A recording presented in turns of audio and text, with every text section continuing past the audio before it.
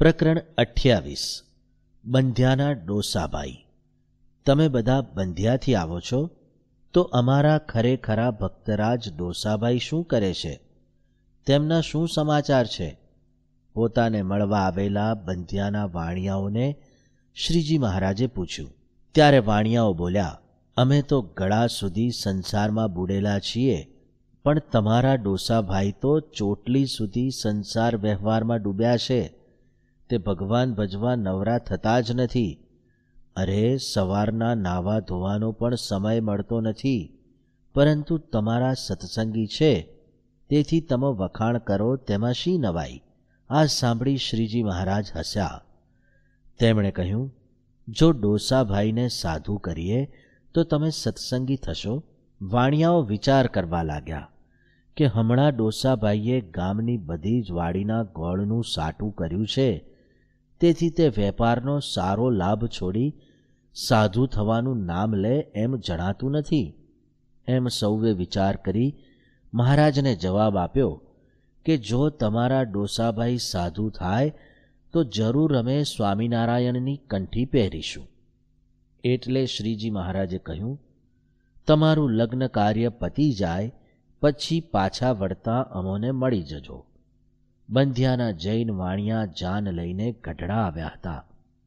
તેમની સાથે આ રીતે વાત કર્યા બાદ તરત જ શ્રીજી મહારાજે ભગુજીને બોલાવ્યા ને કહ્યું, લો, આ ભગવા વસ્ત્ર ને હમણાં જ તમે ઘોડા ઉપર સવાર થઈને બંધ્યા જાઓ.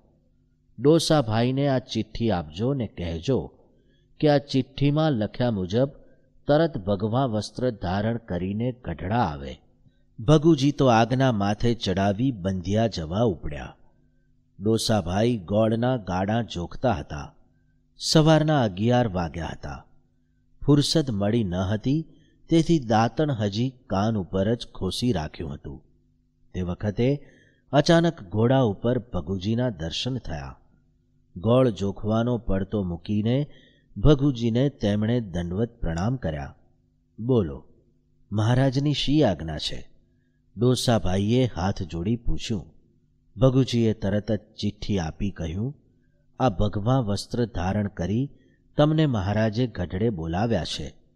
મહારાજની ચિઠ્ઠી વાંચી ડોસાભાઈએ તરત જ ભગવા વસ્ત્ર પહેરી લીધા ને ભગુજી સાથે ચાલી નીકળ્યા. ઘેર સંદેશો પણ કહેવરાવ્યો નહીં, તેમજ દુકાનની પણ ભલામણ કોઈને કરી નહીં. ગઢડે જઈ મહારાજના દર્શન કર્યા. બંધ્યાના વાણિયા લગ્ન પછી પાછા વળતા જ્યારે શ્રીજી મહારાજને મળવા આવ્યા, ત્યારે સંત મંડળમાં બેઠેલા ડોસાભાઈ તરફ આંગળી ચીંધીને મહારાજે પૂછ્યું, આમને ઓળખો છો? બંધ્યાના વાણિયા તો એકદમ અચંબો પામી ગયા અને કહેવા લાગ્યા, હે મહારાજ, ડોસાભાઈ તમારા ખરેખરા ભક્તરાજ છે. ડોસાભાઈ તો મહાવૈરાગ્યવાન છે. અને અમે સંસારી જીવ છીએ.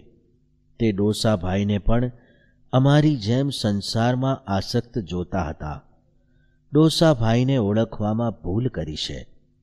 એમ મહારાજની માફી માગી વાણિયાઓએ રજા લીધી. ત્યારબાદ શ્રીજી મહારાજે ડોસાભાઈને ધોળા વસ્ત્ર આપ્યા અને કહ્યું, લો, આ તમારા પહેલાંના વસ્ત્ર પાછા પહેરી લો અને ઘેર જાઓ. ડોશીમાં જીવે ત્યાં સુધી તેમની સેવા કરો. તમે તો ગૃહસ્થ હોવા છતાં અખંડ સાધુ જ છો.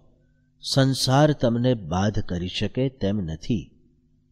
શ્રીજી મહારાજની આજ્ઞા શિરોમાન્ય કરી ડોસાભાઈ પાછા ઘેર આવ્યા. મહારાજને વિશે મહાત્મ્ય જ્ઞાને સહિત નિશ્ચયવાળા ભક્તરાજ ડોસાભાઈ હતા. કોઈ દિવસ તેમણે મહારાજની આજ્ઞામાં લેશ પણ ફેર પડવા દીધો નથી. તેમણે મહારાજની આજ્ઞા અધ્ધર ઝીલી છે.